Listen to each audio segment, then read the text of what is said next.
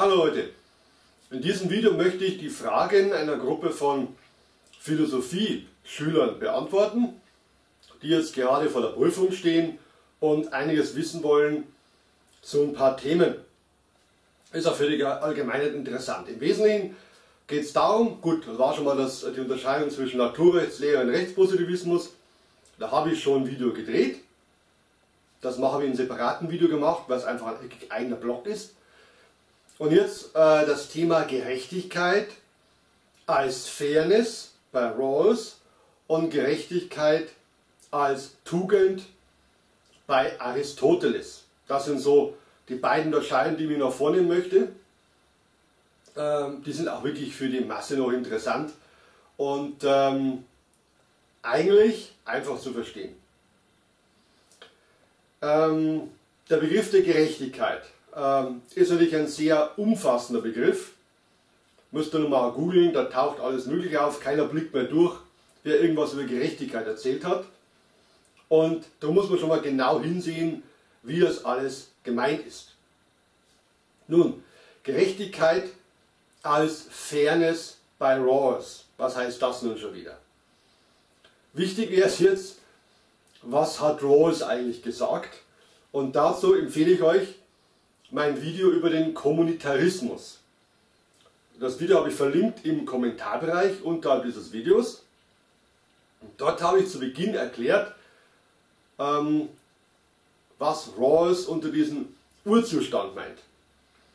Äh, um welchen, was der Urzustand ist und wie da Entscheidungen gefällt werden. Also seht ihr zuerst dieses Video über den Kommunitarismus an. Dort erkläre ich den Urzustand bei Rawls in Abgrenzung zum Kommunitarismus, kann auch nicht schaden, wenn man das mal weiß, äh, taucht vielleicht auch im Unterricht mal auf. Wenn ihr das angesehen habt, dann könnt ihr das verstehen, was ich jetzt gesagt, sage. Gerechtigkeit als Fairness.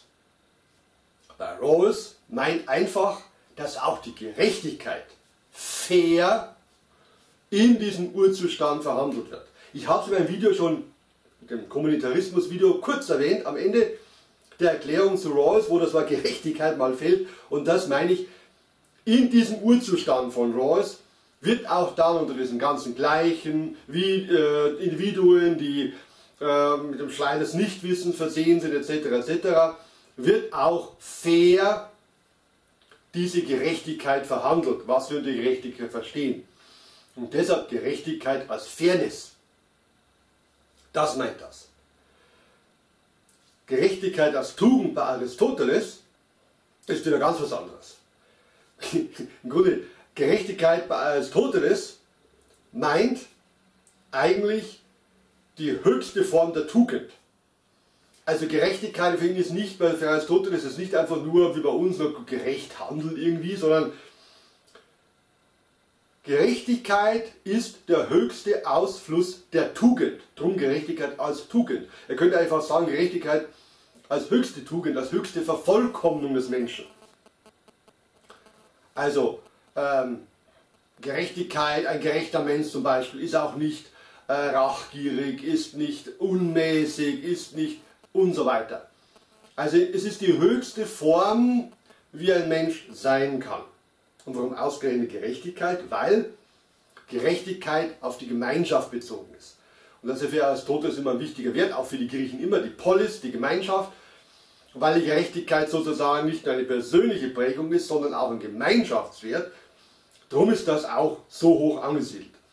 Also Gerechtigkeit als Tugend meint eigentlich bei Aristoteles, dass Gerechtigkeit eine Tugend ist, aber auch schon die höchste Tugend, die höchste Vervollkommnung. Ein gerechter Mensch ist sozusagen der tugendhafte Mensch in Vollkommenheit, in der höchsten Ausprägung. Der hat alles, was ein tugendhafter Mensch braucht. Also seht, eigentlich wieder ganz was anderes im Ansatz, was Rawls unter Gerechtigkeit versteht. Übrigens, diese Beschäftigung mit den Gerechtigkeitsbegriffen ist auch eine sehr gute ähm, Schule dafür, äh, wie man überhaupt mit Begriffen umgehen soll. Also ihr seht beim Begriff Gerechtigkeit, wie der immer wieder ganz verschieden verwendet wird. Und das gilt auch für viele andere Begriffe. Zum Beispiel den Begriff der Freiheit. Also ihr lernt dadurch vorsichtig zu sein, wenn solche Leute mit diesen großen Begriffen kommen, wie Gerechtigkeit, Freiheit. Da muss man schon ein bisschen immer zuhören und sehen, was meint der oder die damit und was wird damit alles begründet. Ähm, und das ähm, ist wieder ein weiteres Problem, das ihr dann sozusagen auch in verschiedenen Bereichen immer wieder findet. Ich hoffe, ich konnte euch weiterhelfen mit dem Video.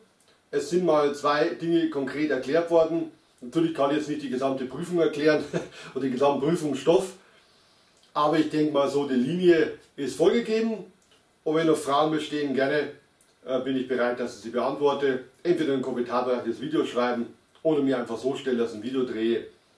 Jederzeit für Ideen offen. Wie gesagt, es kommt immer wieder interessantes Neues. Und äh, dass mir auch selber wieder drauf bringt, Mensch, das könnte ich auch mal machen. Ja, wenn das Video gefallen hat, like das Video, abonniert den Kanal, erzählt es weiter und sagt bleibt auf alle Fälle, bleibt dran, bis zum nächsten Mal.